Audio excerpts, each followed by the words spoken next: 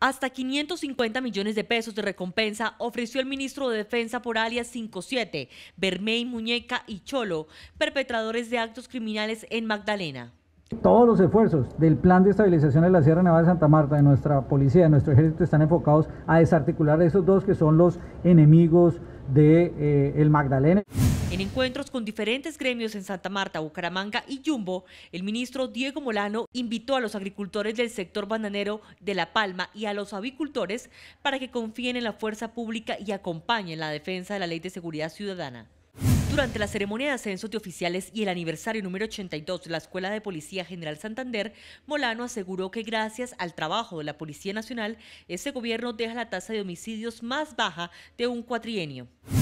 La viceministra de Defensa Sandra Alzate, junto al subsecretario de Gabinete Ministerial del ministro de Defensa de Ecuador, el general en servicio pasivo Washington Buñay, firmaron el Plan Operativo Anual Binacional, con el fin de fortalecer la seguridad en la frontera.